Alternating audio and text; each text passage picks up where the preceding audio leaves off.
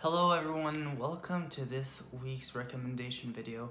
This video is going to be about The Intelligent Investor by Benjamin Graham. Very big book, actually. It took me a few weeks to actually finish it, um, but that's because it's very much in depth. And at the end of this video, I'm going to show you how to actually get the book and who should actually get it.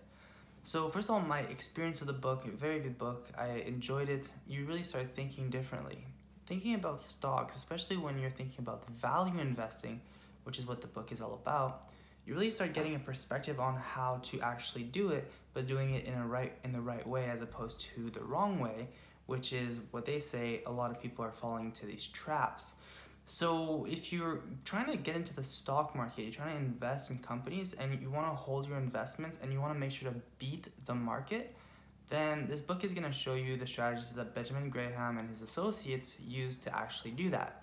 So according to, you know, pop culture, history, whatever you want to call it, they have had very good results with their funds. So what they do is they get money from everyone and they actually make investments for people and they try to grow the fund. They want the fund to be worth a lot. So it doesn't the book doesn't show you how to start a, a fund itself, but it shows you how to use investment vehicles when actually making your investments. Things like mutual funds, um, you know, individual companies, and all these other things that um, you can purchase on the stock market.